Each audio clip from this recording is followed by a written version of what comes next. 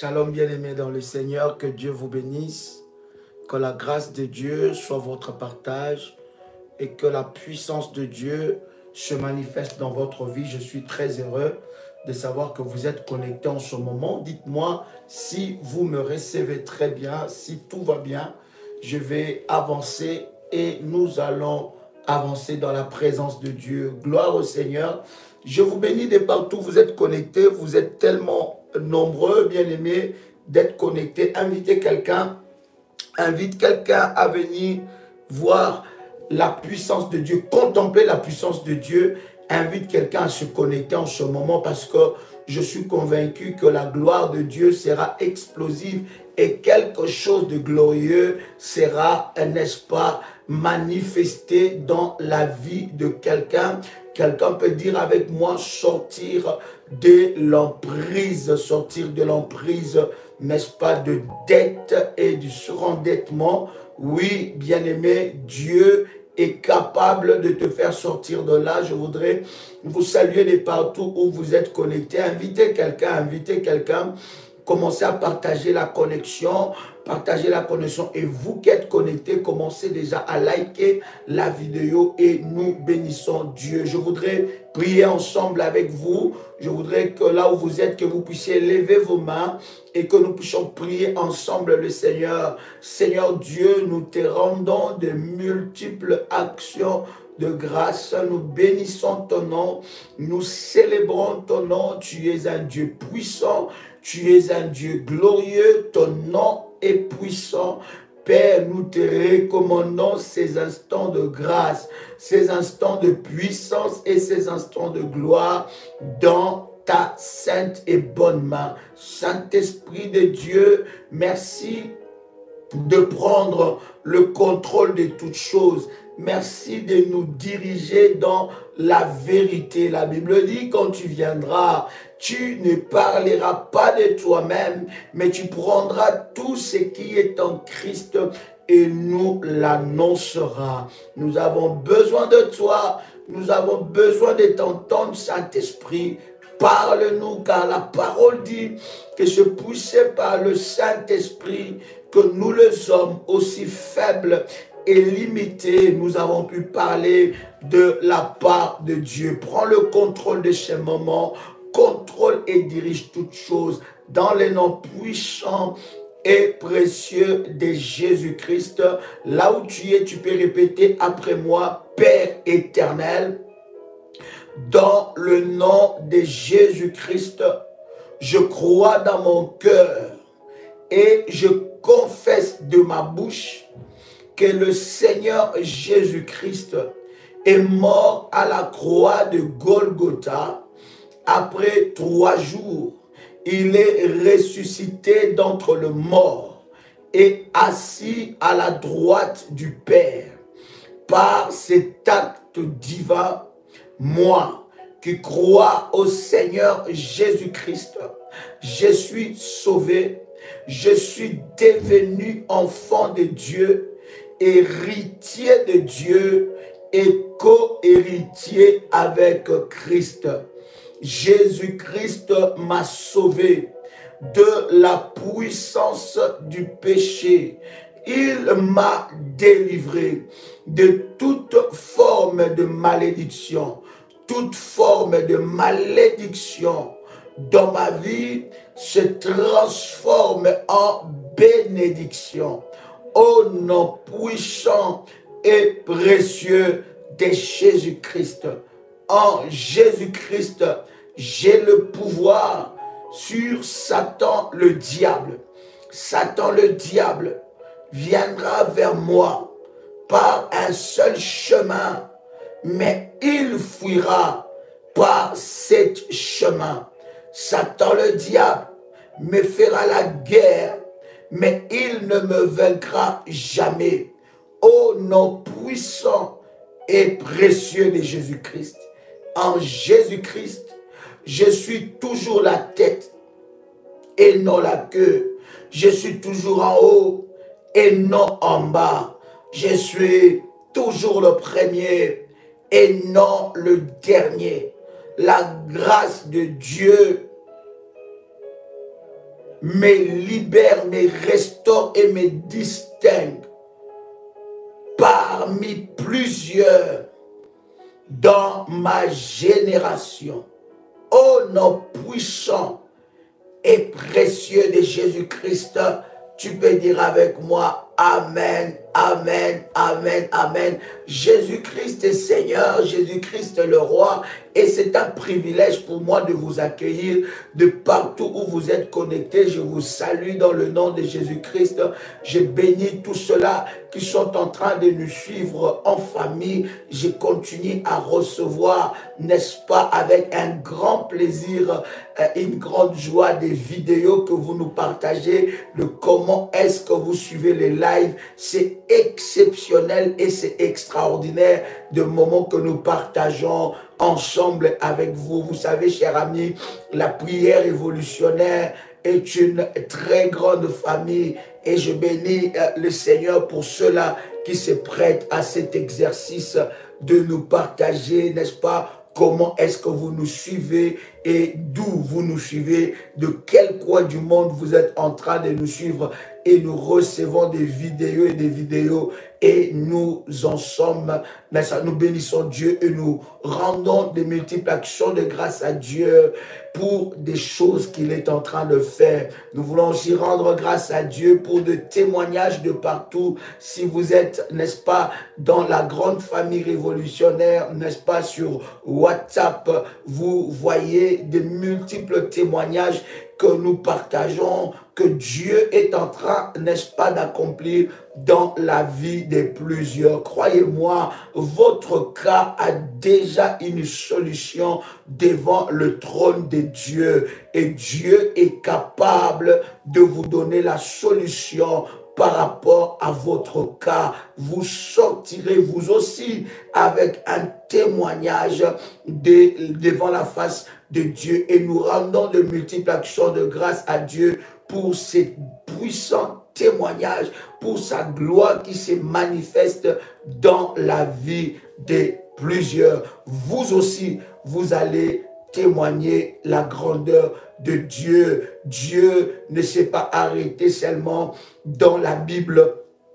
Il continue à agir encore jusqu'à notre temps et vous pouvez aussi être témoin de la main de Dieu. Alors aidez-moi à partager ce live, liker la vidéo, partager dans vos contacts des réseaux sociaux, euh, sur WhatsApp, dans vos contacts WhatsApp. Vous pouvez sauver la vie de quelqu'un en partageant ce moment, en partageant ce live. Vous pouvez être, n'est-ce pas, le canal de la bénédiction pour la vie de quelqu'un. Donc partagez cela dans le groupe WhatsApp et dans vos contacts WhatsApp si vous le souhaitez. Allez-y et invitez quelqu'un à se connecter dans la puissance et dans la présence de Dieu.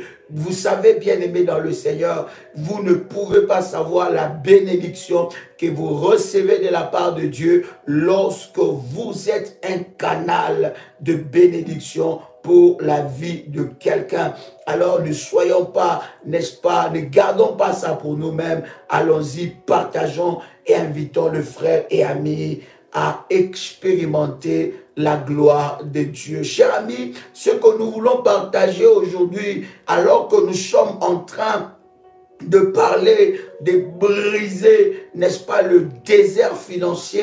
Nous continuons dans, cette, dans ce thème, dans cette lancée, selon que le Seigneur est en train de nous conduire. Avant d'ailleurs de partager, de continuer, je voudrais vous dire, préparez votre porte-monnaie, préparez votre porte-monnaie parce que c'est avec ça que nous allons prier. Préparez aussi votre bouteille d'huile d'onction. Il y a une grâce, une grâce exceptionnelle qui doit descendre dans la vie de quelqu'un. Est-ce que quelqu'un entend le son de ma voix? Je disais, il y a une grâce qui doit descendre dans la vie de quelqu'un. Et au travers de ce moment, nous allons humilier l'enfer, briser le œuvre de l'ennemi Satan et vous allez remporter votre victoire d'une manière exceptionnelle. Quelqu'un peut écrire avec moi, c'est le jour de mon miracle. Est-ce que tu peux l'écrire? Vous savez, chaque jour devant la face de Dieu, devant la présence de Dieu, bien-aimé, ne se ressemble pas. Dieu tout le jour de nos vies, il fait des grandes choses et il fait des choses nouvelles. Car la Bible dit, chaque matin, il renouvelle le souffle de vie sur nous, bien-aimés. Il nous renouvelle le souffle de vie. Ça veut dire, bien-aimés dans le Seigneur, aujourd'hui, quelque chose peut se passer et qui peut changer complètement votre vie et que vous puissiez entrer dans votre destinée glorieuse que Dieu est en train de préparer. Quelqu'un avec moi ici, gloire au Seigneur. Tu peux écrire maintenant après moi, sortir, sortir, n'est-ce pas, de dette, de l'endettement ou du surendettement.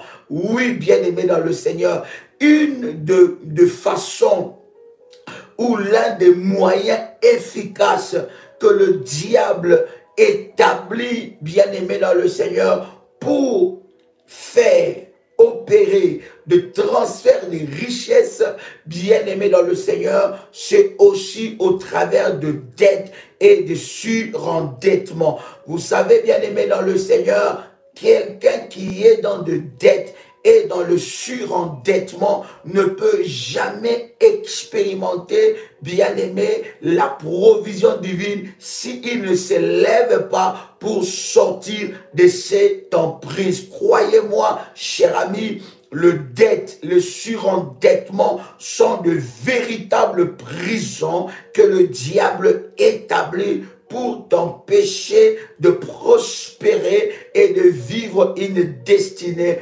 glorieuse. Les dettes, les endettements, le surendettement, bien-aimés, sont des esprits, des géants maléfiques que le diable utilise aussi pour, n'est-ce pas, activer, n'est-ce pas, des transferts des richesses. Je bénis Dieu parce que hier, alors que nous étions en train de prier, le Seigneur se manifestait dans la vie de plusieurs et nous avons reçu des témoignages que nous avons partagés ensemble avec vous où Dieu était en train d'annuler, n'est-ce pas, d'annuler les transferts des richesses. Croyez-moi, cher ami, la volonté de Dieu n'est pas que tu sois dans des limitations financières. La volonté de Dieu n'est pas que tu puisses vivre que de ton salaire. La volonté de Dieu, d'ailleurs, avec ton salaire, tu sais très bien que tu ne vis pas aisément et tu ne réalises pas le projet de ta vie. La volonté de Dieu est que tu puisses vivre dans la provision divine. Quelqu'un invite quelqu'un. Est-ce que tu peux inviter une personne dans le groupe? Allez-y. Pendant que nous sommes connectés, il y en a qui sont en train d'être distraits alors que Dieu veut libérer les finances de la vie de quelqu'un. Tu peux prendre avec moi ce puissant verset, cher ami, que nous connaissons de la parole de Dieu. Et je voudrais lire cela ensemble avec vous. Est-ce que tu peux commencer à liker la vidéo? My God. My God. Koraba. Alléluia, alléluia, alléluia. Alléluia. Quelqu'un avec moi ici? Yes, prépare, prépare, prépare ton huile, prépare ton porte-monnaie. Nous allons prier pour ça. Yes. Alléluia. Quelqu'un avec moi ici. Alléluia, alléluia. Fais monter les fire. Invite quelqu'un, commence à liker. Invite quelqu'un et commence à liker. C'est un verset que nous connaissons, que je voudrais lire cela avec vous. Nous sommes dans Deux Rois, le chapitre 4, le verset 1. Deux Rois, chapitre 4, le, en commençant par le premier verset. La Bible est en train de nous dire, une femme d'entre les femmes de fils des prophètes cria à Élisée en disant, ton serviteur, mon mari est mort, et tu sais que ton serviteur craignait l'Éternel. Or, les créanciers est venu pour prendre mes enfants et en faire des esclaves.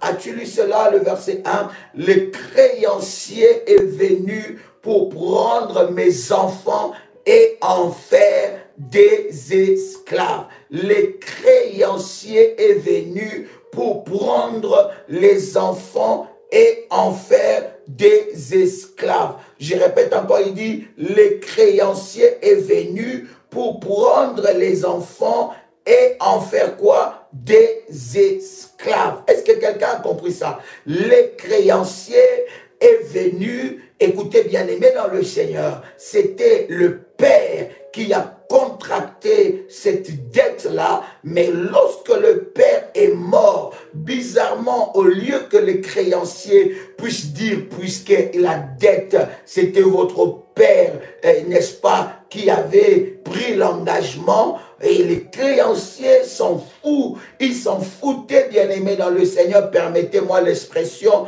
que le Père soit mort. Ce qui, est, ce qui était important, ce qui était primordial pour le créancier, c'était son argent. C'était rembourser sa dette. Donc, il s'en foutait et il savait, étant que créancier, il avait le droit sur la vie des enfants. Écoutez, il dit, il est venu prendre les enfants pour en faire des esclaves. Ça veut dire, bien aimé dans le Seigneur, les enfants qui n'ont même pas contracté la dette, les enfants qui n'ont pas pris l'engagement de la dette, mais le créancier vient et il veut faire de ses enfants, n'est-ce pas, des esclaves. Première des choses que je voudrais partager avec toi, la dette ou l'endettement est tout d'abord spirituel.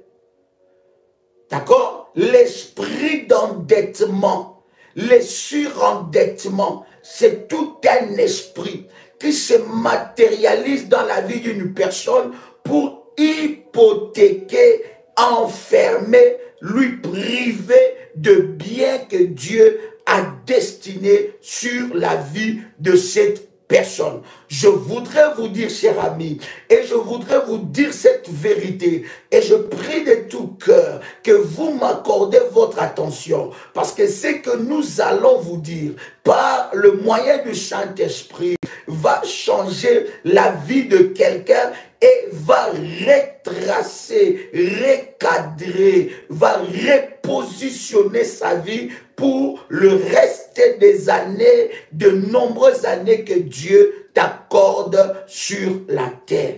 Est-ce que quelqu'un entend le chant de ma voix? Donc tu dois comprendre que l'esprit d'endettement, l'endettement est d'abord un esprit.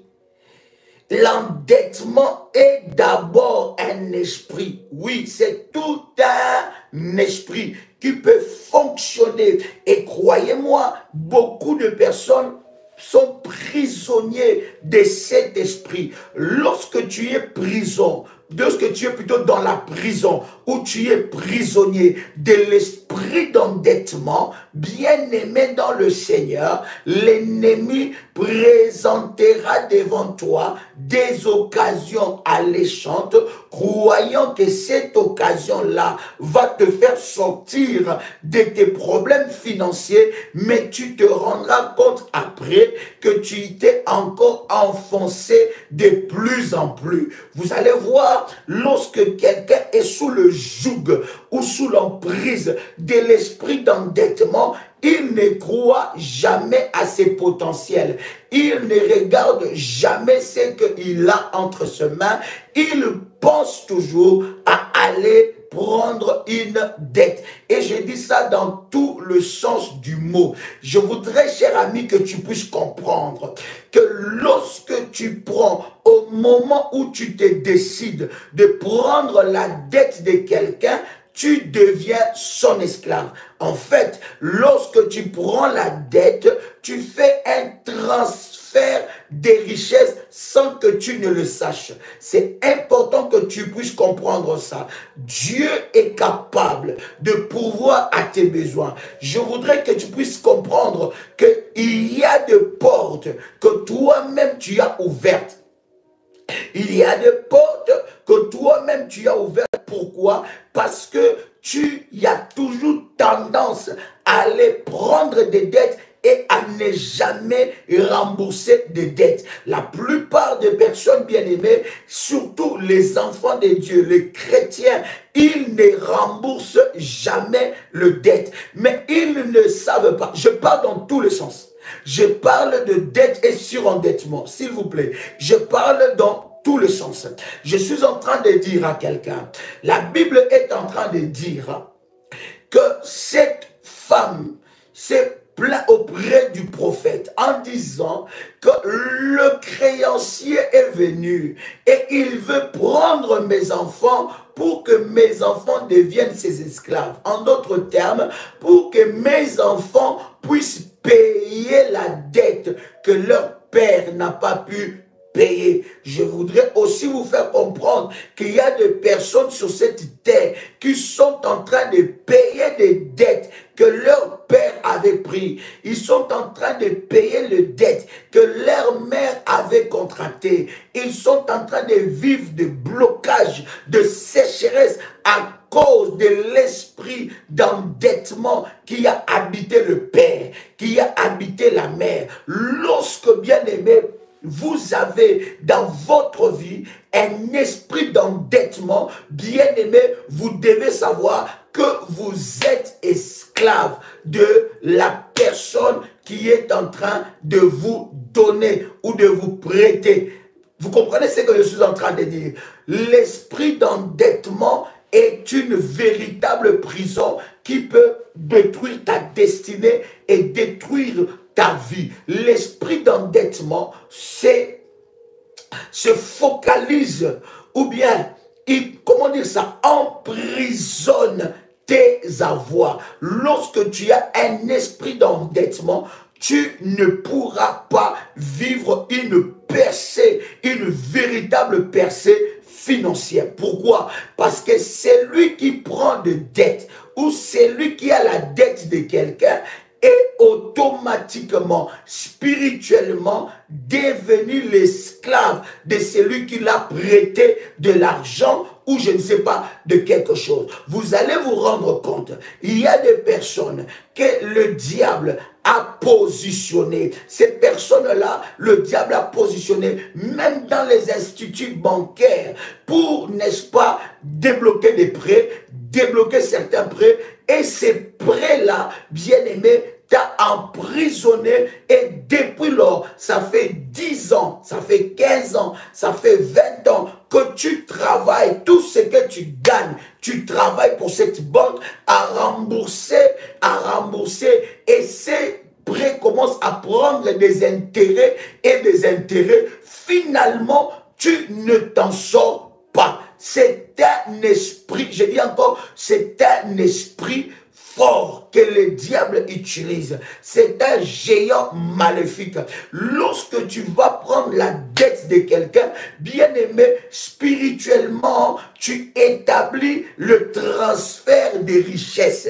Pendant que je suis en train de parler, je voudrais m'adresser à un révolutionnaire qui est en train de me suivre. Si tu sais, bien aimé, que tu es, tu es, tu as de dettes et que dans ton esprit, tu sais que tu as, tu dois à telle personne, tu dois à telle personne. Bien aimé dans le Seigneur, tu dois pas dormir. Tu ne peux pas être dans la paix si tu ne règles pas le dette. Parce que tu ne connais pas la puissance maléfique qui se cache derrière le dette. Lorsque tu as la dette de quelqu'un, bien aimé, tu dois savoir que cette personne-là, spirituellement, est en train de travailler avec ton étoile. Même si la personne n'est pas maléfique, même si la personne n'est pas un serviteur de Satan, mais sache qu'il y a des esprits d'endettement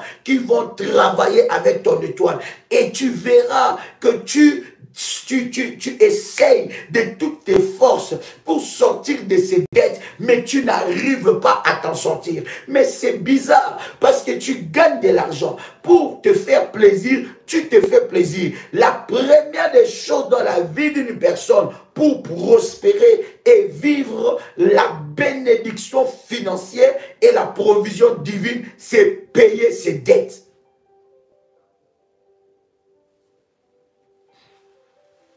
Est-ce que je parle à quelqu'un? Je vais attaquer, je vais toucher avec vous le problème des dettes dans les institutions comme des banques, comme des associations, comme je ne sais pas quelle institution. On va parler aussi de ça, de comment tu dois prier pour sortir de cet esprit d'endettement. Écoutez, je vous avais dit qu'Abraham était un homme prospère, Isaac était un homme prospère. Je vous avais dit que Jacob était un homme prospère. Ils n'ont jamais eu de crédit à la banque. Ils n'ont jamais emprunté à la banque. Ils n'ont jamais eu de banque à leur époque. Mais la Bible est en train de nous dire qu'ils étaient des hommes prospères.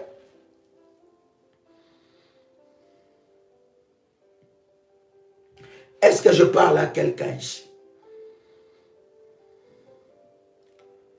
Est-ce que je parle à quelqu'un ici? Donc c'est très très important, cher ami, de savoir que l'esprit, l'endettement est tout un esprit.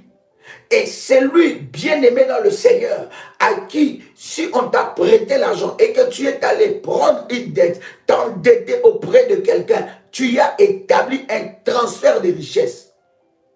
Parce que la Bible est en train de dire que la main qui donne, c'est la main qui domine. Et beaucoup de gens comme ça sont allés transférer leurs richesses auprès de leurs créanciers. Est-ce que vous savez que lorsque vous êtes un homme et une femme qui aiment l'endettement, qui aiment s'endetter, bien aimé dans le Seigneur, vous devez savoir, cher ami, que cet esprit-là est en train de travailler avec votre étoile.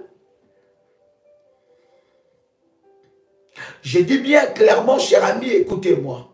Si la personne qui vous a prêté cet argent, euh, euh, n'est-ce pas, euh, n'est pas une personne maléfique ou bien qui, qui est dans la sorcellerie ou pas, mais il y a des esprits d'endettement qui vont se saisir de ces dossiers pour utiliser tes avoirs Écoutez, cher ami, il y a un moyen de t'en sortir.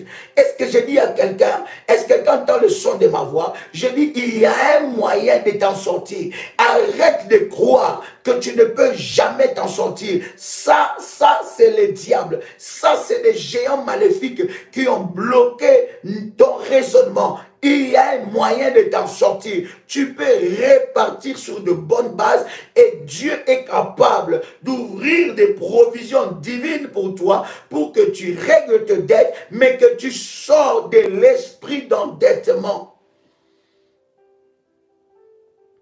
C'est tout un esprit. Si tu observes ta famille, tu verras que cet esprit a commencé même dans la vie de ta mère.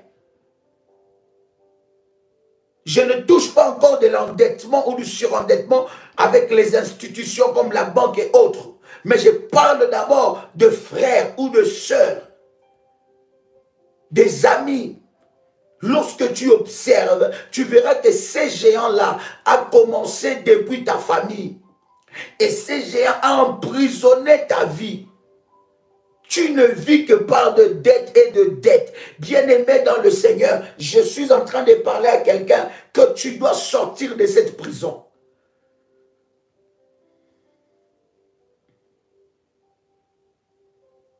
Lorsque tu vas prendre la dette, Lorsqu'il y a des personnes comme ça, ils, t'amènent toujours des,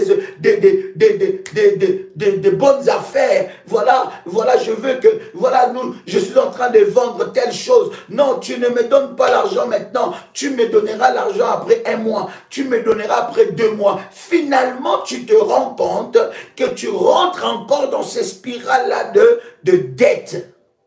Écoutez, je vais vous donner un verset extraordinaire qui va énormément nous aider.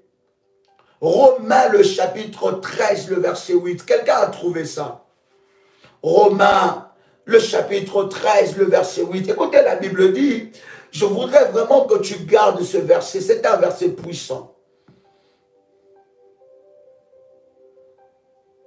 Romains chapitre 13, le verset 8. La Bible dit, ne devez rien à personne je dis, ne devez rien à personne. La Bible dit, ne devez rien à personne. Si ce n'est de vous aimer les uns les autres, car celui qui aime les autres a accompli la loi. Ne devez rien à personne. Il ne faut pas que quelqu'un pleure avec ton nom.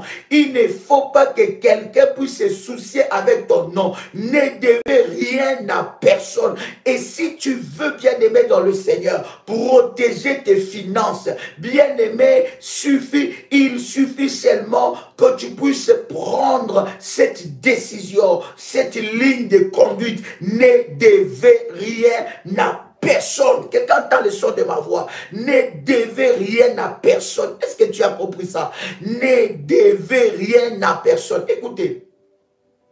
Lorsque la Bible est en train de dire, cher ami, ne devez rien à personne, c'est que la Bible connaît, la Bible sait les réalités spirituelles qui se cachent derrière des endettements, les réalités spirituelles qui se cachent derrière de dettes. Tu as la dette de quelqu'un bien aimé dans le Seigneur et tu vois que la personne ne te réclame même pas cette dette. Mais toi, tu penses qu'il ne te réclame pas physiquement mais spirituellement, c'est lui qui prend le dessus sur toi. Ne devez rien à personne. Et ça, c'est un principe puissant. Bien aimé, si tu vois que quelqu'un réclame quelque chose que toi tu lui dois, bien aimé, ne donne pas sommeil à tes yeux, travaille durement pour ne devoir rien à personne. C'est facile, oh cher ami. Ma soeur Car Carline, pourquoi tu dis ce n'est pas facile? Déjà cette mentalité de dire que ce n'est pas facile, ça ne sera jamais facile. ça ne sera jamais facile. Parce que ce qui sort de ta, de ta bouche, c'est ce qui est en train de s'aimer dans ta destinée. Comment est-ce que tu dis ce n'est pas facile? C'est facile. C'est possible. Et lorsque dans ton esprit, ma, fille, tu te dis que ce n'est pas facile, bien aimé, ça ne sera jamais facile. Parce que c'est du fruit de tes lèvres que tu mangeras. Du fruit de tes lèvres que tu semeras dans le destin de ta vie. Toute parole que tu sors de ta bouche, tu les sèmes dans ta vie. C'est possible de vivre sans dette. Je dis c'est possible de ne devoir rien à personne. C'est possible de vivre une vie sans dette où tu ne dois rien à personne. Est-ce que quelqu'un croit avec moi? Nous parlons de choses spirituelles ici. Nous parlons des choses de Dieu. Nous parlons de la de Dieu. Nous ne sommes pas venus caresser le mal. Nous ne sommes pas venus et parler, dire que oh non, ça, c'est pas, c'est pas facile. Non, c'est facile et c'est possible. Est-ce que quelqu'un croit que Dieu est capable de lui faire sortir de l'esprit d'endettement? Est-ce que quelqu'un croit? Il y a quelqu'un qui a un pouvoir dans ta vie par rapport à la dette qu'il t'a donnée. Il y a quelqu'un qui a détruit ta réputation. La Bible, lorsque la Bible est en train de dire ne devez rien à personne, la Bible sait, la Bible est consciente, elle sait, elle connaît l'impact spirituel qu'il y a de dette. Il y a des impacts hautement spirituels derrière les dettes. Lorsque tu as la dette de quelqu'un, tu es son esclave, tu travailles spirituellement pour lui. Il peut décider de toi ce qu'il veut. À moins que tu puisses vouloir vivre dans cette position. Mais si tu es un enfant de Dieu et tu es révolutionnaire, tu veux que Dieu te délivre de ça, Dieu va te délivrer. C'est, je vous ai dit tout au début, cher ami, avant de commencer, n'est-ce pas l'enseignement, c'est un esprit.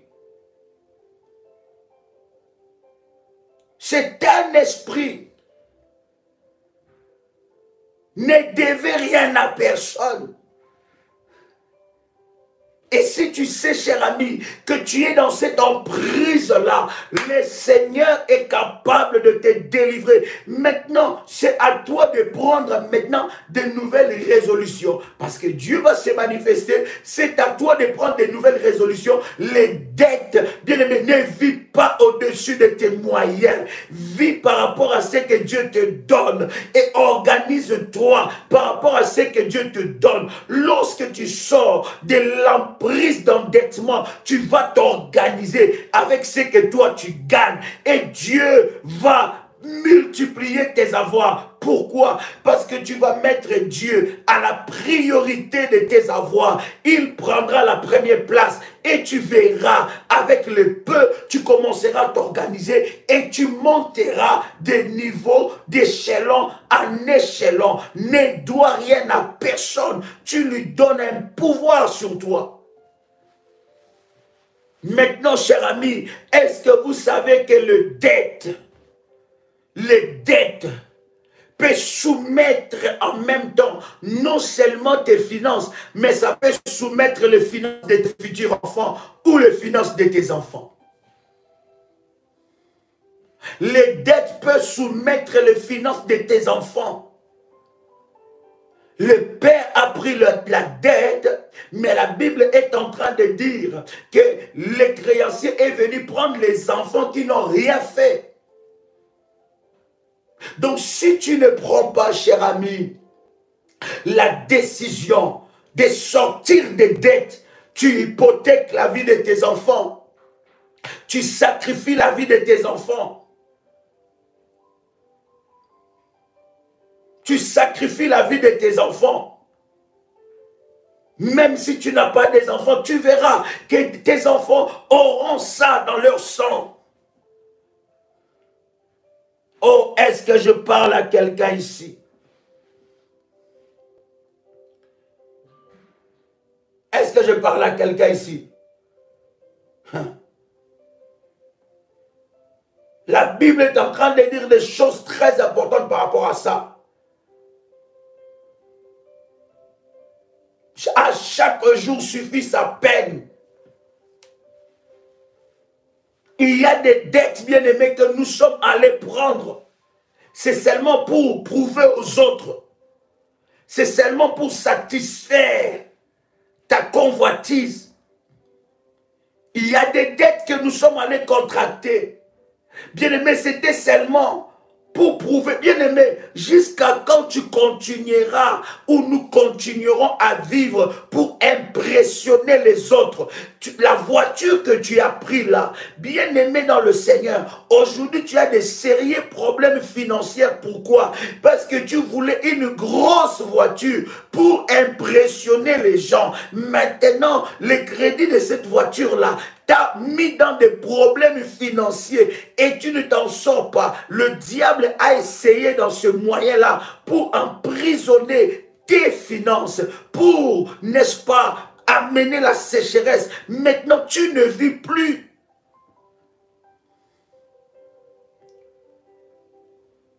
À chaque jour suffit sa peine. Arrête de vivre pour impressionner les gens. Vis ta vie avec le Seigneur pas à pas, sûrement, tu monteras, tu graviras des échelons. Si Dieu a béni l'autre, gloire à Dieu, mon tour arrivera aussi. Je ne veux pas vivre une vie pour impressionner les gens. Bien aimé dans le Seigneur, il y a d'autres dettes que tu as pris, que tu as contractées, juste pour impressionner les gens.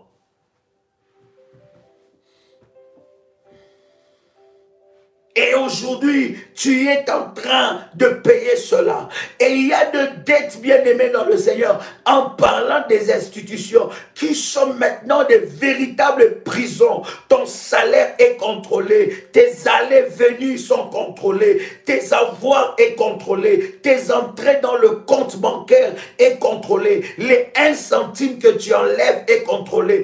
Et quand tu reçois ta paye, ta paye doit d'abord passer dans une institution pour qu'on calcule pour toi ce qu'il te faut. Tu es devenu sous tutelle à cause de ces surendettements. Et devant les gens, tu peux faire semblant, mais toi-même, tu sais que tu pleures. Écoute-moi, Dieu est capable de te faire sortir de ces surendettements. Mais maintenant que nous sommes en train de briser cet esprit et cette emprise, commence d'abord à prendre une bonne résolution. Parce que la Bible est en train de dire qu'à tes résolutions répondra le succès.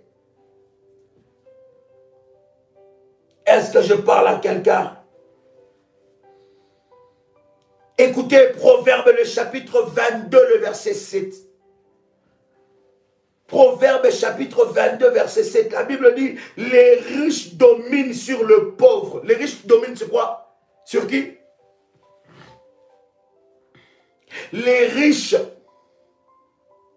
Proverbe chapitre 22, verset 7. Le riche domine sur le pauvre et celui qui emprunte est l'esclave de celui qui prête. Est-ce que tu as lu ça? Est-ce que tu as lu ça? Je n'avais même pas encore lu. Je t'avais déjà expliqué ces choses. Mais regarde, la Bible est en train de l'affirmer très fort. Proverbe, le chapitre 22, le verset 7. Les riches dominent sur le pauvre et celui qui emprunte est l'esclave de celui qui prête. Vous voyez bien aimé, lorsque la Bible est en train de parler de l'esclavagisme, c'est dans tout le domaine, même dans le domaine spirituel. Parce qu'un véritable esclave est d'abord esclave dans le domaine spirituel. Son esprit est esclave. Et la Bible dit, celui qui emprunte est l'esclave de celui qui prête. Regarde cette dette commence à sécher ta maison. Cette personne vous proposait, il disait non, je peux vous aider avec 30 000 euros, avec 5 000 euros, avec 3 000 euros et vous allez me payer calmement.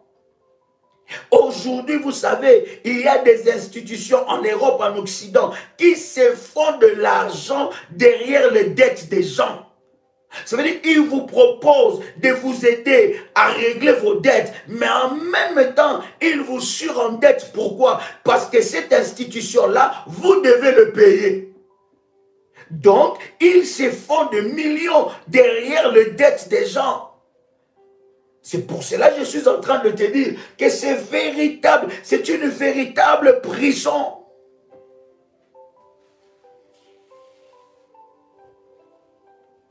Quelqu'un peut dire avec moi, Seigneur, fais-moi sortir du surendettement. Fais-moi sortir de l'emprise de l'endettement.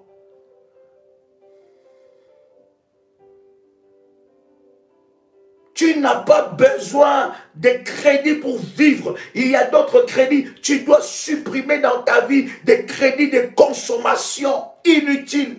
Des crédits pour satisfaire tes besoins. Bien aimé dans le Seigneur, il y a iPhone 11 Maxi Pro. Donc, comme iPhone 11 Maxi Pro est sorti, tu te dis non, moi je ne peux pas manquer ça. Il faut que j'aille mon iPhone Maxi Pro. Bien aimé, tu vas signer un abonnement de téléphone. Et lorsque tu signes cet abonnement, c'est une dette. Voilà pourquoi, voilà comment la société a fait de nous des consommateurs impulsifs. Voilà comment la société a fait de nous des consommateurs, des capitalistes. Et on te montre à la télé la pub. On te dit que ce téléphone, si tu l'as pas, c'est que tu n'es pas un être humain. Ce téléphone, si tu l'as pas, c'est que tu n'es pas à la page. Ce téléphone, si tu l'as pas, c'est que non, non, non, non, tu as loupé quelque chose. Alors ça commence à battre dans ton cœur et tu vas, tu vas signer ce téléphone-là. Et lorsque tu signes ce téléphone-là, là, il y a un abonnement, il y a un prix à payer. Et toi, tu ne payes pas. Tu vas commencer à appeler comme si, je ne sais pas, les réseaux là, c'était les réseaux de ton père ou de ta mère ou bien ton propre réseau. Tu appelles, tu appelles. Allez, paf, tu as la première facture à 500 euros. Et tu commences bien aimé dans le Seigneur. Aujourd'hui, tu es dans des problèmes. Écoute, écoute-moi, écoute-moi. Il faut que tu, tu puisses prendre des bonnes résolutions.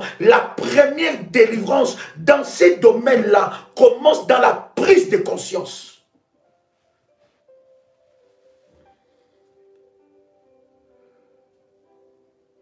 Quelqu'un dans le son de ma voix.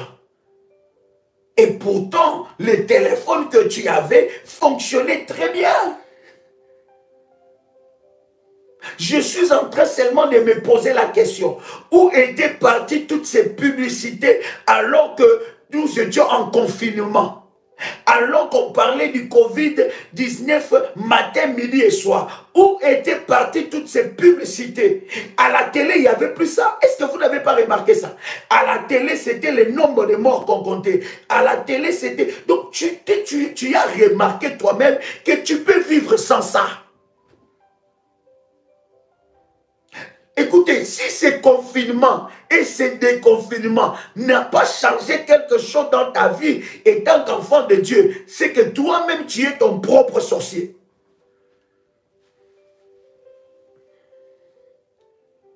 Toutes ces jolies marques qu'on nous montrait, toutes ces belles choses, nous avons compris que c'est éphémère.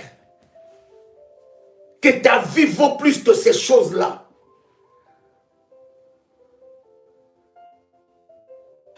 Tu dois, cher ami, dans la prière, alors que nous allons prier, prends la résolution d'arrêter les crédits de consommation. Seigneur, bénis ma corbeille. Seigneur, lorsque je reçois ma paye à la fin du mois, je te mets dans la priorité. J'établis mon alliance de la dîme avec mes finances. Après cela, je commence avec la sagesse divine à m'organiser. Et le Seigneur bénira ta corbeille. Et tu verras que tu monteras à un niveau, après un autre niveau. Tu vas gravir des échelons.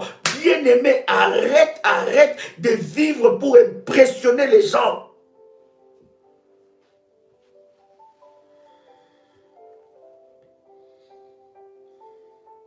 Tu vis pour Dieu. Tu vis pour toi. Tu vis pas pour les autres. Arrête d'être victime de, de ce monde capitaliste qui t'amène à consommer, à consommer, à consommer, à consommer. La télé que tu as, ça fait seulement des mois. Mais maintenant, puisqu'on a montré, écoutez, les fabricateurs de toutes ces technologies, ils nous prennent, je dis, ils nous prennent comme des véritables moutons. Ils ont déjà préparé, ils savent déjà que si nous faisons sortir iPhone 11 ou 10 avec trois objectifs, les gens, non, on fait déjà sortir des objectifs, mais on a déjà préparé le trois objectifs, ça va sortir maintenant. Et après trois mois, quatre mois, paf, il faut sortir. Mais tu as oublié que tu avais, tu avais la télé là, ça fait deux mois. Maintenant, tu vas maintenant au, à but, je ne sais pas dans quelle grande surface commerciale, et on commence à te proposer des choses. Et tu te rends compte que tu as chauffé, chauffé ta carte de crédit. Maintenant, tu comprends pas qu'est-ce qui se passe. Après, Satan ici, Satan là-bas. Je comprends pas. Non, cher ami.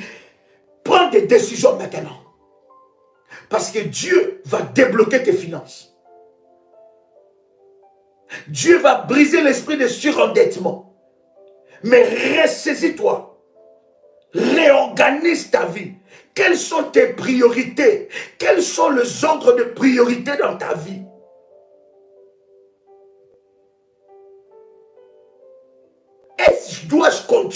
À vivre pour impressionner les gens les jours que tu mourras, pendant que tu es en train, cher ami, de payer ces factures, tu es seul. Les gens que tu as impressionnés là ne sont pas là.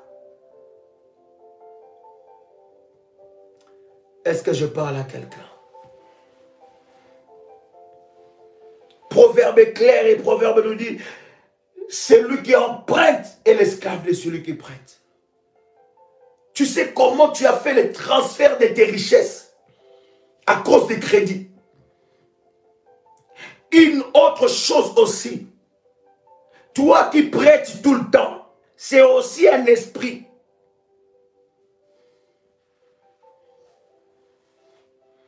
Il y en a qui préfèrent prêter que rester avec quelque chose. Je vais vous expliquer, cher ami, lorsque quelqu'un est en train de prêter et qu'on ne le rembourse pas, c'est aussi une façon que les esprits mauvais utilisent ou dilapident ses finances. Une personne comme ça ne réalisera pas de grandes choses. Et vous allez voir, cher ami, dans le Seigneur, que le Seigneur a réglé ses problèmes.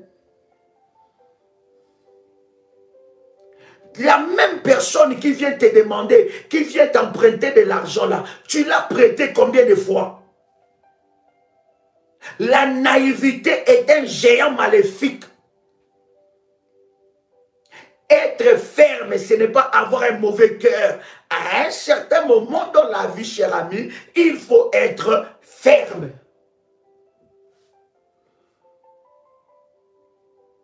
Il te change toujours de formule. Il vient toujours en changeant de, de formule. Toujours des, urgences. C'est-à-dire que toi, tu n'as pas d'urgence dans ta vie. C'est seulement elle. C'est seulement lui qui a d'urgence. Et le jour que tu diras non, c'est le jour là qu'on va t'insulter. Et il y a des personnes qui, ont comme ça un esprit maléfique qui manipule leur vie. Ils ne savent pas dire non aux gens. Ils sont oui. Tu, veux quoi? Oui, ok, ok, ok. Mais tu sais qu'il te reste que ces 100 euros là. Non, non, non. Ça, ce n'est pas Dieu. Et en allant encore plus loin, ces gens d'esprit sont des esprits de servitude.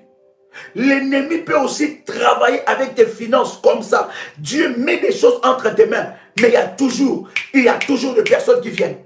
Il y a toujours des personnes qui viennent. Donc toi, tu es madame Madame, oui. Monsieur, oui, oui. Madame, oui, oui. C'est-à-dire que tu ne peux même pas réfléchir. C'est-à-dire que tu, peux, tu préfères prêter de l'argent et laisser ta maison dans des problèmes.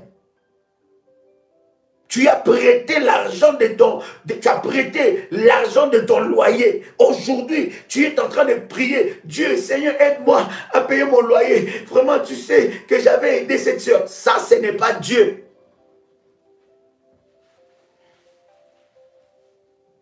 Est-ce que je parle à quelqu'un?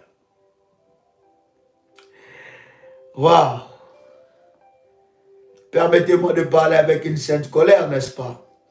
Derrière ce genre d'esprit maléfique, il faut s'élever avec une sainte colère.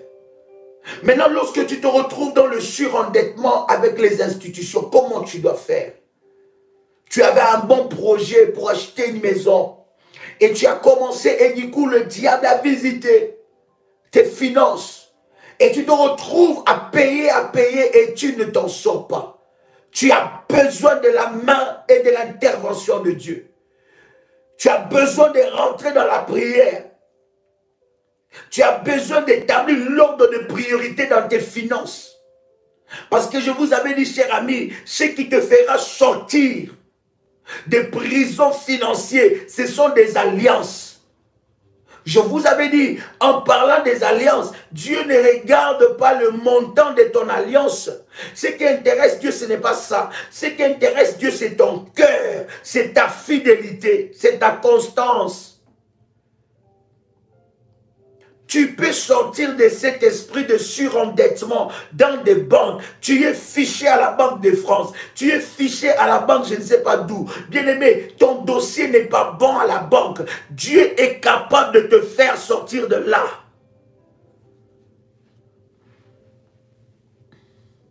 Tu es là, bien-aimé. Tu as aidé quelqu'un et tu as pris du crédit pour aider quelqu'un. Ou tu as pris du crédit pour donner à quelqu'un, à un homme que tu pensais que c'était un homme sérieux. Tu as pris le crédit d'une voiture et tu as donné à ton fiancé et tu pensais que cet homme-là, c'était pour la vie. Et tu te rends compte que depuis qu'il a eu cette voiture, cet homme a changé complètement. Et comme le crédit était en ton nom, tu ne sais pas quoi faire et tu es dans des problèmes financiers. Ton salaire n'arrive pas à subvenir à ses besoins. Finalement, tu es divorcé, mais toutes les charges sont restées avec toi. Toutes les dettes, des choses à payer sont restées avec toi. Derrière toi, il y a le huissier. Derrière toi, il y a la justice. Derrière toi, il y a des créanciers qui réclament de dettes que tu n'as pas contractées. Je suis en train de te dire, il y a un Dieu qui est juste. Je dis, il y a un Dieu qui est juste. La justice de Dieu existe. Je dis, la justice de Dieu existe. Et pendant que je suis en train de parler, le Seigneur Dieu va te faire sortir de cette prison-là, de cette emprise-là, pour que tu puisses vivre une largesse financière et une provision divine dans ta vie. Tu es en train de payer le pot cassé d'un divorce très mal passé. Je suis en train de te dire, Dieu est capable de te visiter.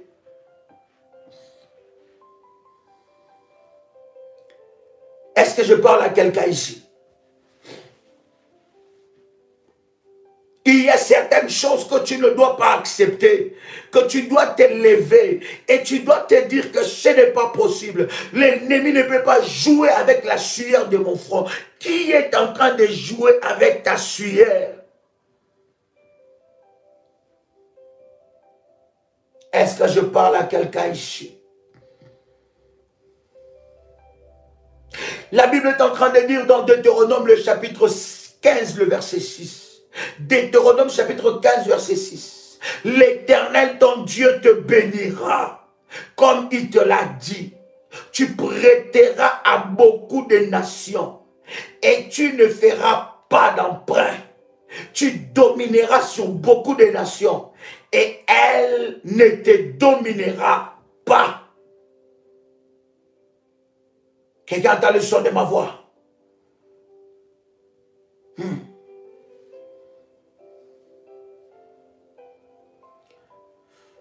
tu domineras sur des nations. Dieu te bénira.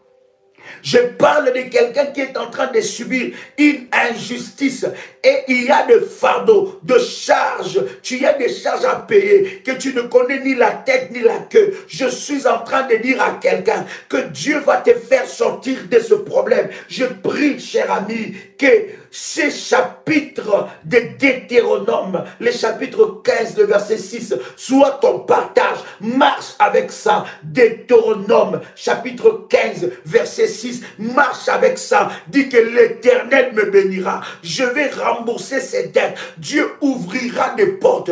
Il ouvrira les canaux et je vais m'en sortir financièrement. Je monterai encore. J'irai encore de l'avant. Aucune chose, aucune mesure ne pourra briser la provision divine dans ma vie au nom de Jésus-Christ.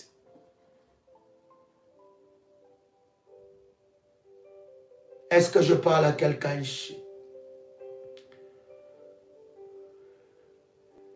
Il y a des personnes, à la fin du mois, même tout au début du mois, tu ne sais pas comment t'en sortir. Tu ne sais pas quoi faire. Tu es limité, limité financièrement. Qui est en train, qui a volé ta sueur? Bien-aimé, il y a un Dieu qui est juste sur la terre. La justice de Dieu existe. Bien-aimé dans le Seigneur, cet homme peut avoir raison. Il peut tromper avec le nombre de ses avocats. Il peut tromper la justice, la justice terrestre. Mais il ne pourra pas trafiquer la justice céleste. Cette femme, elle peut trafiquer sur la terre. Elle peut aller manipuler, manigancer pour que toi, financièrement, tu souffres, pour que on te fasse charger des choses. Mais je suis en train de te dire, elle peut tromper la justice de la terre, mais pas la justice divine. Il y a une justice divine qui existe. Oh my God.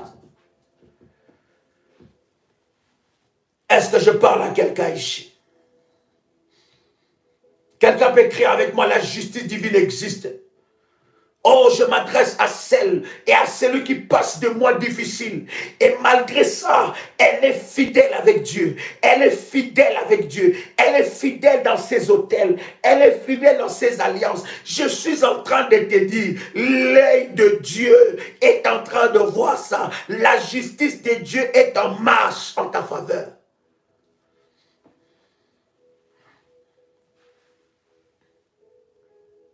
Tout ce que nous faisons ici, c'est que l'homme aura semé, il les moissonnera. La personne est tranquille. Pendant que je suis en train de parler, il n'y a aucune charge. Et tu es en train de payer des choses injustement. Il y a une justice. Il y a une justice céleste. Et chaque jour, amène ces dossiers devant la face de Dieu. Dans tes prières, tu dis, Seigneur, tu es le juste juge. Tu es le juste juge. Tu es le juste juge. Seigneur, tu as vu comment est-ce on m'a condamné injustement. Seigneur, tu as vu comment je suis resté avec des charges. Dieu, tu es le juste juge. Bien-aimé dans le Seigneur, à moins que cet homme, à moins que cette femme ne soit pas, ne marche pas sur la terre ou ne piétine pas sur la terre. S'il piétine la terre, s'il marche ou elle marche sur la terre, il y a un Dieu.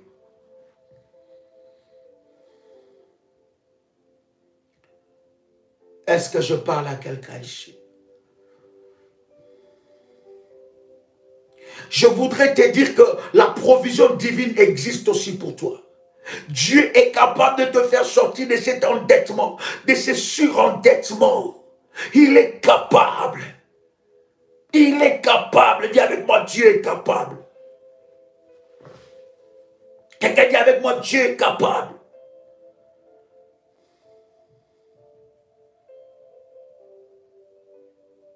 Il y a des litiges qu'on t'a chargés. Mais il y a un Dieu. Oh my God. La Bible est en train de dire dans Proverbe le chapitre 13, le verset 11. Proverbe chapitre 13, verset 11. Une fortune mal acquise diminue. Mais celui qui amasse peu à peu augmente son bien. Aïe, aïe, aïe, aïe, aïe, des versets dans la Bible, quand tu lis ça, ça te donne envie de parler en langue. Écoutez ce que la Bible est en train de dire. Proverbe chapitre 13, verset 11.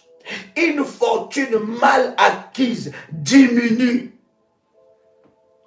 Votre père est mort. Votre mère est morte.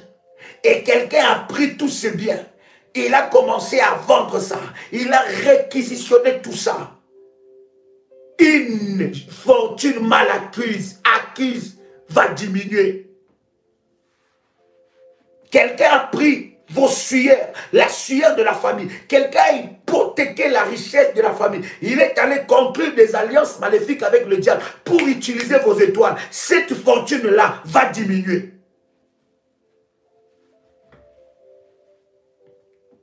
C'est lui qui a établi des alliances avec des sorciers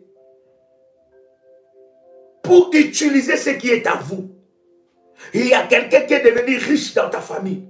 Et vous-même, vous vous dites que cette richesse-là n'est pas normale. Qu'est-ce qu'il a fait pour arriver là? Et vous savez que cette personne touche à des choses pas normales, à des choses maléfiques. Cette richesse-là va diminuer. J'ai dit ça va diminuer. Voilà pourquoi tu vas te rendre compte, il y a des personnes qui ont été riches dans la famille. Lorsqu'ils meurent, ils meurent avec leur richesse. Mais lorsqu'ils partent, ils vont dans les jugements éternels. La Bible dit, n'envie pas les méchants qui prospèrent. Ne l'envie pas. Ne l'envie pas. C'est lui qui amasse peu à peu. Bien-aimé, il faut que ta provision divine ait une histoire avec Dieu il faut, c'est lui qui amasse peu à peu. Augmente son bien. Les gens te disent, mais ah, qu'est-ce que Tu leur dis petit à petit avec Dieu, sûrement, pas à pas, mais sûrement.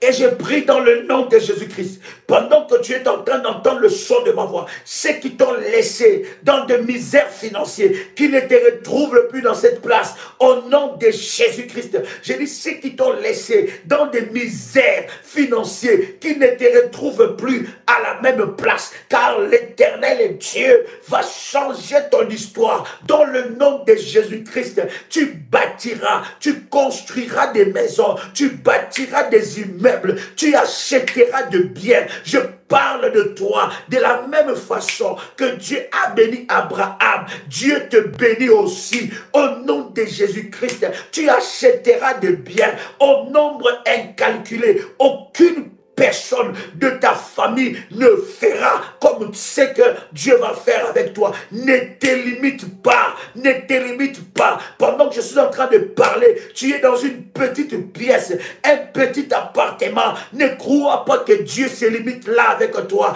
Dieu ne se limite pas là. Ceux qui ont acheté des immeubles, ils ont des pieds, deux mains, deux yeux, une tête comme toi. Dieu est capable. Ne limite pas Dieu. Quelqu'un dit avec moi, je ne limite pas Dieu. Dieu est capable de m'étonner. Dieu est capable de m'étonner. Il est capable de m'étonner. Reçois cette grâce, reçois cette onction de vivre sans limite un arbre sans saison. Tu donneras le fruit le lundi, tu donneras le fruit le mardi, tu donneras le fruit le mercredi, tu donneras le fruit le jeudi, tu donneras le fruit le vendredi, tu donneras le fruit le samedi, tu donneras le fruit le dimanche, tu t'étendras à gauche, tu t'étendras à droite, tu t'étendras derrière, tu t'étendras devant, de tout le coin, on parlera de toi, de toi sortira des étoiles au nom de Jésus-Christ. Brise la limitation. Ne vois pas ta vie limitée là. Ta vie ne s'arrête pas là. Il y a un meilleur. Il y a un meilleur. Il y a un avenir meilleur qui t'est réservé. Il y a de merveilleuses, de merveilleuses choses qui arrivent dans ta vie. Ne te vois pas petit pendant que Dieu ne te voit pas petit. Ne te vois pas local pendant que Dieu te voit global. Ne te vois pas local pendant que Dieu te voit international. Ne te limite pas là. Ta vie ne se limite pas là. Ce que tu es en train de vivre, ce n'est qu'un passage. Je dis, tu passeras de là. Tu sortiras de l'emprise des dettes. Les gens se moquent de toi à cause de tes limitations financières. Bien-aimé, pas à pas, tu rembourseras tes dettes. Pas à pas, tu chercheras tes créanciers et tu rembourseras tes dettes. Tu reprendras le pouvoir Oh my God.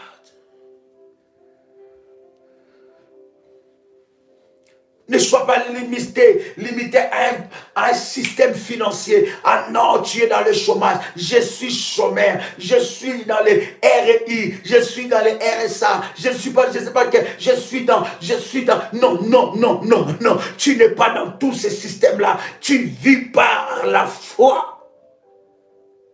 Oh my God.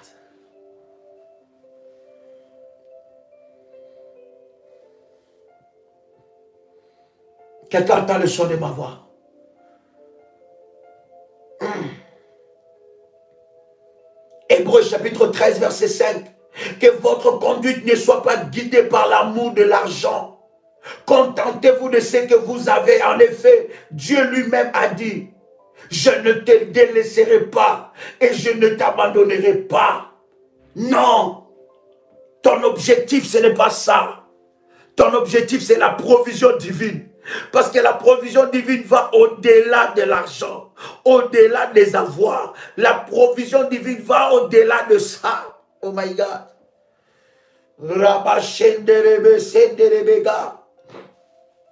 Dieu veut que tu prospères à tous égards. Dieu veut que tu prospères à tous égards. 1 Corinthiens chapitre 7 verset 23. Vous avez été racheté à un grand prix. Ne soyez pas esclaves des hommes. Or, ce qui te rend esclave, ce sont des dettes. Ça te rend esclave spirituellement. Ce sont des transferts de richesses. Les dettes que tu prends, tu es en train de transférer tes richesses. Oh my God. Quelqu'un entend le son de ma voix? Deutéronome chapitre 28, verset 12. La Bible dit, l'Éternel ouvrira pour vous son bon trésor céleste pour donner en ton temps, au temps voulu, la pluie nécessaire aux terres et pour bénir tout travail que vous accomplirez pour proférer à de nombreuses nations. Vous prêterez plutôt à de nombreuses nations. Et vous n'aurez pas besoin d'emprunter. Oh my God. Aujourd'hui, je vais prier exceptionnellement.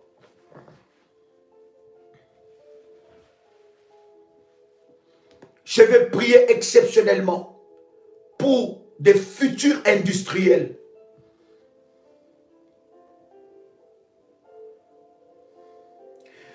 Je vais prier pour ceux-là qui ont des grandes visions. Et si tu n'as pas une grande vision de ta vie, Dieu va t'injecter sa vision. Je viens prier aujourd'hui pour des femmes et des hommes que Dieu va utiliser comme de futurs industriels. Oh, est-ce que tu es monté à mon niveau de foi? Oh my God. Est-ce que tu es monté à mon niveau de foi? Ne te vois pas boulot, dodo, caillou, caillou, boulot, métro, dodo. Ça peut être un moment, un tremblin, mais Dieu ne te voit pas là.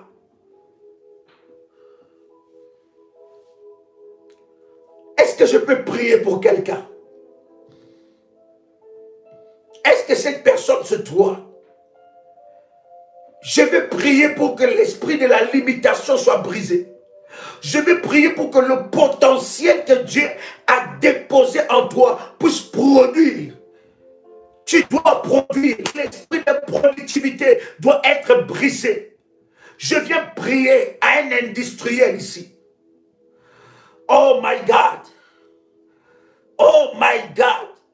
Alors que j'ai regardé les témoignages, les témoignages d'un chrétien, et il dit, il avait un travail. Dans ce travail, il a gagné un dollar par mois. Il est en Éthiopie. Il gagnait un dollar par mois. Mais il se disait dans son esprit que ça, ce n'est pas ma vie. Les gens se moquaient de lui. Il était dans la pauvreté. Mais il se disait, ça, ce n'est pas ma vie. Je suis, je suis plus que ça. Ça, ce n'est pas ma vie. Et cet homme est devenu un géant immobilier en Éthiopie. On ne peut pas parler, on ne peut pas parler dans le domaine d'immobilier si on ne touche pas la vie de cet homme. Il est devenu puissant. Je parle à un industriel ici. Dieu m'a dit qu'au travers de ce message, il va relever plusieurs richesses il va restaurer plusieurs richesses. Tu es en train de te sous-estimer parce que tu ne te connais pas. Tu es un industriel. Il y a un esprit de productivité qui est à toi. Tu es, oh my God, oh my God. J'aime la question de Marie. Marie se pose la question. Elle dit, comment cela se passera lorsque l'ange vient dire à Marie que tu deviendras enceinte et tu enfanteras? Marie se disait, mais c'est impossible que j'enfante comme ça. Elle pose la question à l'ange en disant comment cela se passera? Et l'ange dit à Marie, il est l'ombre du Tout-Puissant, il est l'ombre du Tout-Puissant t'envahira. Tu seras enveloppé par l'ombre du Tout-Puissant. Tu n'as pas besoin de te poser des questions. Comment cela se passera? Non, bien aimé, je parle à des visionnaires ici. Je parle à ceux qui ont des visions. Je parle à ceux-là qui ont des, choses qui montent au plus profond d'eux, au plus profond de leur esprit. De ceux-là qui croient que Dieu les a créés pour que soit une bénédiction pour les autres. Dieu est en train de briser les limites de ta vie. Est-ce que cette personne se toi? Est-ce que cette personne se toi? Je parle à une femme. Je parle à un homme que Dieu est en train de revêtir de grâce. Je parle à quelqu'un que Dieu est en train de briser des limites. Oh my God, fais monter ta foi. Je vais voir ta foi monter. Fais monter ta foi. Ne te vois pas petit. Ne te vois pas local. Ne te vois pas limité. Non, non, non, non, non. Dieu est capable. Laisse Dieu manifester sa capacité dans ta vie. Dieu est capable. Ce que tu es en train de passer, ce n'est qu'un passage. Ça deviendra un témoignage parce que Dieu va t'amener encore. Oh, Mandelebo Shandaraga. Prends ta bouteille d'onction pendant que tu es en train de me suivre. Malebro Shandaraga. Père, que cette huile soit l'huile du déblocage. Soit l'huile qui brise les chaînes et les jougs. J'ai dit que cette huile soit l'huile qui brise le chêne et le joug. Les chaînes de l'ennemi dans nos pensées, dans notre tête. Père, tu m'as dit, Seigneur, que dans ce temps de live, tu vas restituer les richesses de plusieurs. Et tu vas briser l'emprise de l'endettement et du surendettement. Seigneur, fais-le pour quelqu'un qui me suit maintenant. Fais-le maintenant, Saint-Esprit. Localise la foi de quelqu'un. Localise la foi de quelqu'un. Hébreu chapitre 11. Or, la foi est une ferme assurance. Saint-Esprit sélectionne la foi de quelqu'un maintenant et brise les limitations. Un nom puissant et précieux de Jésus-Christ. Tu peux prendre l'huile d'onction, bien-aimé, tu ou d'huile. La plante de tes pieds, tu ou d'huile aussi. Jambes inférieures, c'est bien ça, n'est-ce pas? Tu induis la pomme de tes mains et ta tête. Pendant que tu es en train de le faire, je vais prier. Fais-le maintenant. Ce n'est plus l'heure d'écrire. Mandelebe Shandarabaga.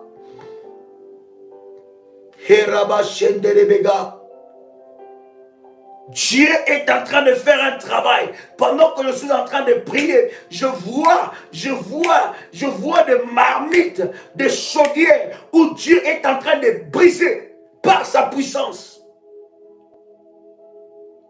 Dieu te localise. La richesse, tu es la porte de la richesse et de la provision divine qui entrera dans ta famille. Dieu va t'utiliser. Et là où on a placé ce qui est à toi, Dieu est en train de te restaurer. En toi, tu as tellement de projets. Il y a des choses qui manquent dans ton esprit. Tu t'es jamais vu petit. Tu t'es jamais vu petite. Tu t'es jamais vu limité. Tu te vois toujours en grand. Dieu est en train d'honorer cela. Si Dieu m'a oint, si Dieu m'a oint, c'est pour de tels cas. J'ai reçu l'onction de Dieu par sa grâce. C'est pour briser les œuvres de l'ennemi et débloquer des destinées. Ta destinée va prendre une autre dimension. My God. Je vois des industriels. Pendant que je prie, pendant que je prie, bien aimé, partage ma foi. Pendant que je prie, je parle à un industriel. Prends tes deux mains, mets ça sur ta tête. Prends tes deux mains, mets ça sur ta tête. Parce que l'onction de Dieu va te localiser maintenant. Et pendant que je suis en train de parler, le Saint-Esprit va commencer à toucher tes mains. La la bagaille.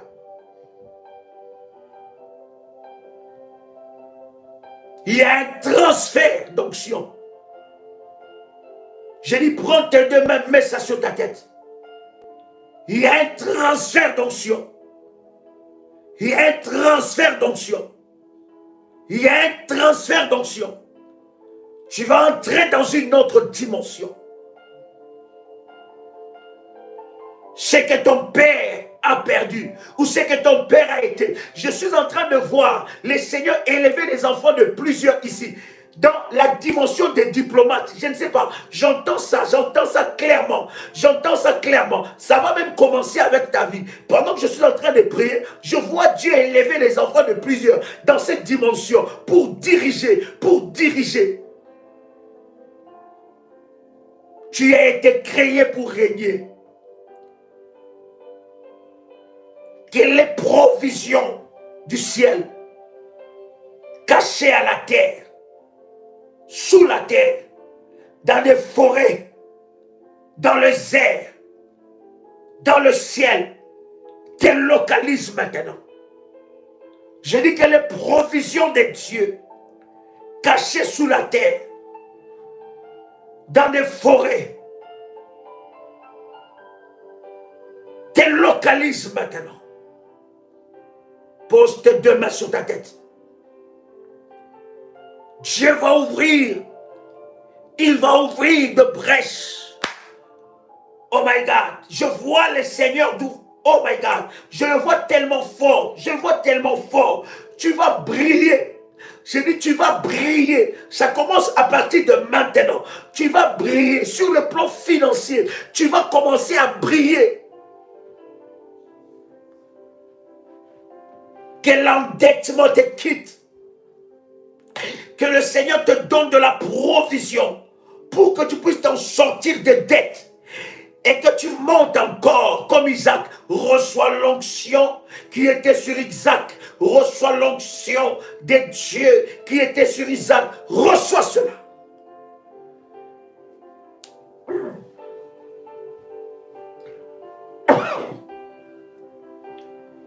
Tes deux mains, tes deux mains, tes deux mains, tes deux mains sur la tête.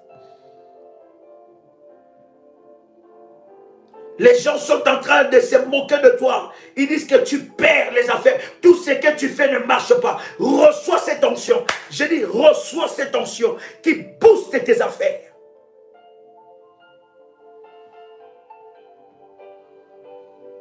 Que la grâce de Dieu te visite. Qu'une onction spéciale soit déposée sur toi. J'appelle la promotion promotion entend le son de ma voix. Je t'appelle maintenant dans le nom puissant et précieux de Jésus-Christ. Localise. Localise. Oh, quelqu'un est en train de... Il est dans le chômage. Mais Dieu est en train de dire... Oh, Dieu est en train de dire... Tu n'as pas compris que ce chômage, c'était pour faire de toi un entrepreneur. Il y a quelque chose que Dieu a déposé en toi. Commence, commence, commence, commence, commence.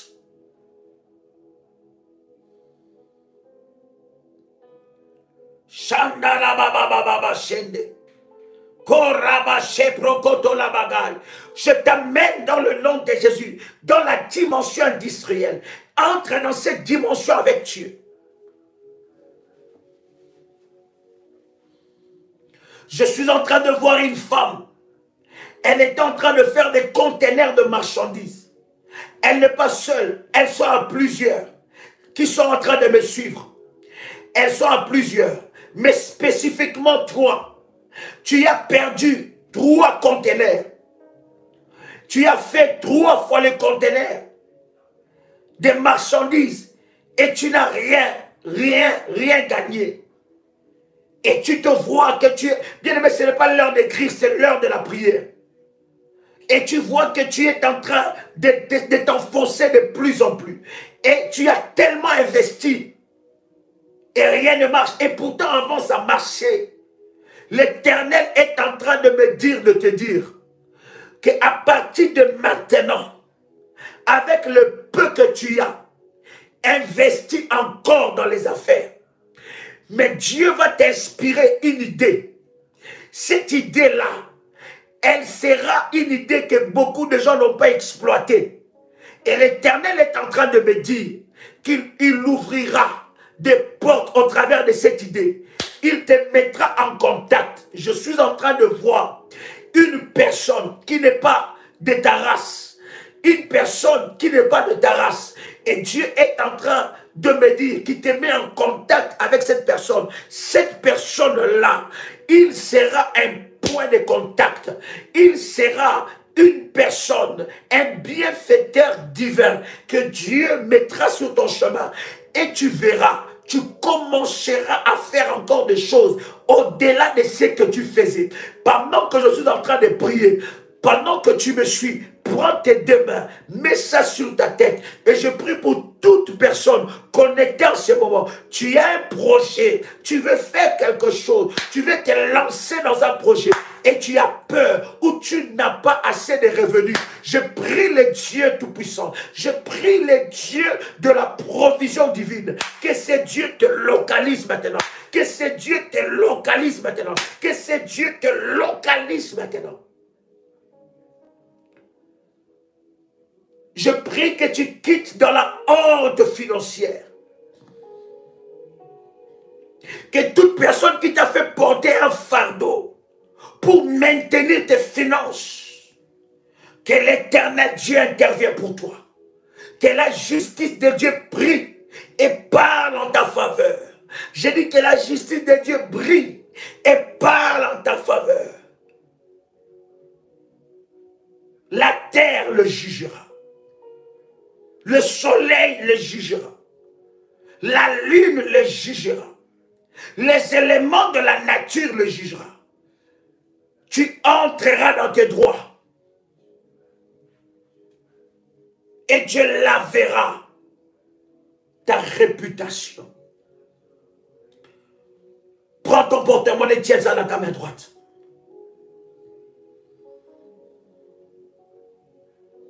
Répète après moi. Ephata.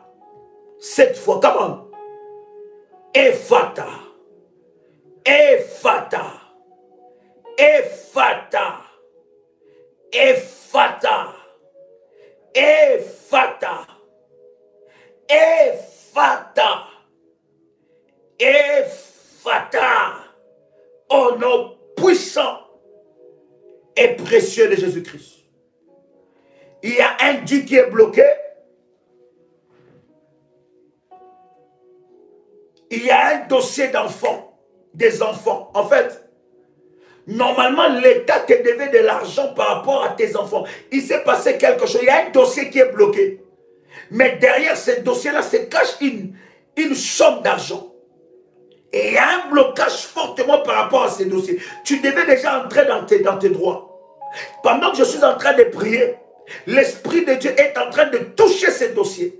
Les personnes qui sont en train de gérer ces dossiers, ils vont être maintenant visités. J'envoie les anges de Dieu qui sont attribués à ce ministère, qui travaillent avec moi dans ce ministère. Les anges de Dieu que Dieu a attribués pour ce ministère, je les envoie maintenant pour aller toucher ces dossiers. Maintenant que ces dossiers soient en ta faveur tout dossier bloqué, pendant que tu es en train de me suivre, tout dossier, tu as fait un accident et on te devait de l'argent par rapport à l'assurance. Il s'est passé des choses, on te devait, tu devais entrer dans tes droits. Et pendant que je suis en train de prier, ces droits-là sont bloqués. Je suis en train de prier maintenant. Tu as des locataires et tu as des droits, mais ces droits sont bloqués. Je veux prier maintenant. Pendant que tu es en train de me suivre, lève seulement ta main droite avec ton porte-monnaie. Je suis en train de prier le Dieu du ciel le Dieu d'Abraham, le Dieu d'Isaac, le Dieu de Jacob, le Père de notre Seigneur Jésus-Christ, le Dieu qui a établi alliance avec moi dans Ésaïe chapitre 45 verset 2. Que ce Dieu-là soit ton Dieu maintenant au nom de Jésus-Christ.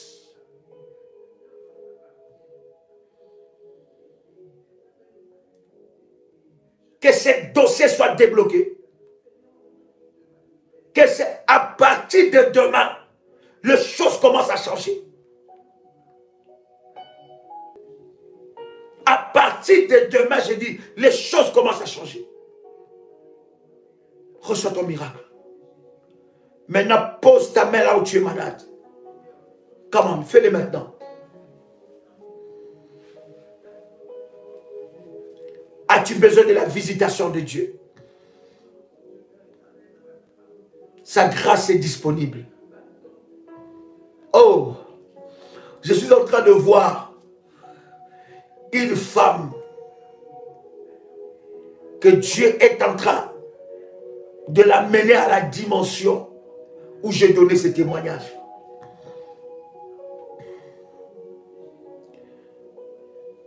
Les continents où tu es, je m'adresse à toi, ne limite pas Dieu.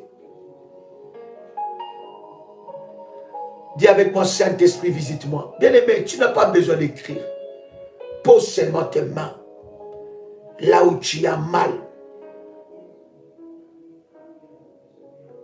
La Bible dit, voici les miracles qui accompagneront ceux qui auront cru en mon nom.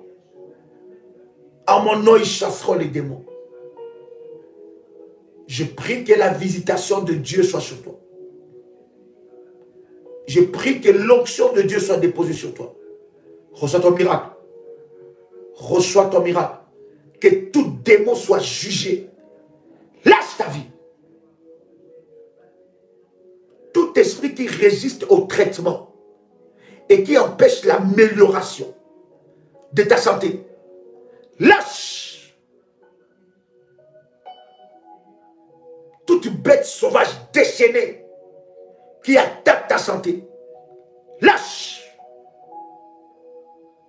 Au nom puissant de Jésus-Christ. Je déclare que ces mots lâchent ta vie, te quitte maintenant. Mot de dos. Reçois le feu. Que les démons qui sont sur ton dos, reçois le feu. Lâche. Les démons qui a pris possession de ta tête, qu'il reçoit le fire maintenant. Fire. De lui, lâche ce corps. Lâche maintenant. Va-t'en.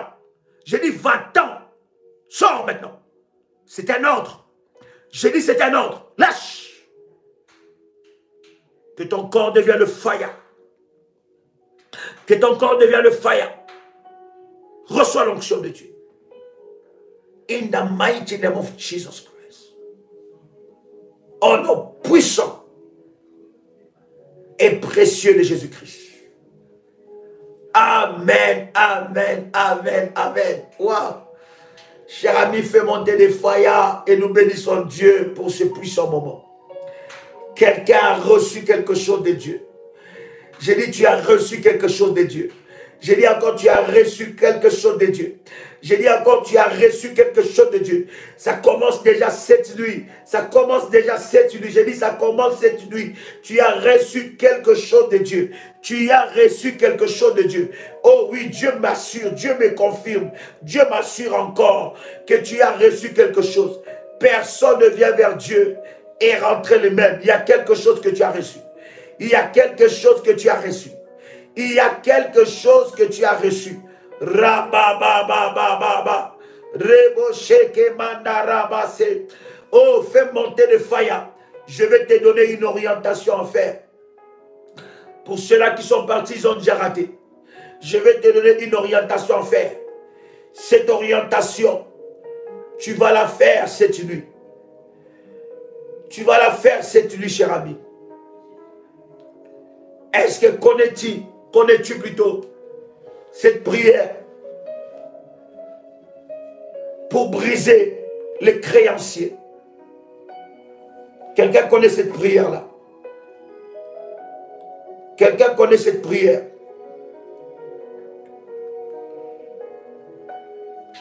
Est-ce que quelqu'un connaît cette prière? Je vais te donner cette orientation. Sortir de l'emprise des créanciers spirituels. Tu peux taper ça sur prière de sentinelle. Sortir, le titre, c'est sortir de l'emprise des créanciers spirituels. Tu feras cette prière trois fois pendant trois jours. Tu commences maintenant à minuit. J'ai dit, tu commences maintenant à, à minuit. Et tu feras ça trois fois pendant trois jours. Ça veut dire, la première prière avant 5 heures. Tu commences maintenant à minuit pour cette journée. Mais dès que nous entrons la journée de demain, avant 6 heures, première prière. Au milieu de la journée ou bien fin journée, deuxième prière. Et le soir à minuit, troisième prière. Et quand tu finis cette prière, le soir, tu oins d'huile d'onction les pommes de tes mains. Bien-aimé, j'ai dit le titre de la prière. Sortir de l'emprise de créanciers spirituels. Sortir de l'emprise des créanciers spirituels. Tu commences à minuit aujourd'hui. Je ne sais pas quelle orientation de prière que tu as, mais fais cette orientation aussi. Tu commences ça à minuit aujourd'hui. Demain, avant 6 heures du matin, première tranche, tu fais une fois. Au milieu de la journée ou la fin de la journée, tu fais encore une fois, deuxième fois. Ça fait deux fois. Et la fin de journée, tu fais ça à minuit. La troisième fois. Et tu prends une onction. Tu vois la pomme de tes mains. Les pommes de tes mains. La grâce et la puissance de Dieu va te localiser. Que Dieu vous bénisse. C'était votre frère et ami Joël Kamba, l'apôtre. Shalom chez vous.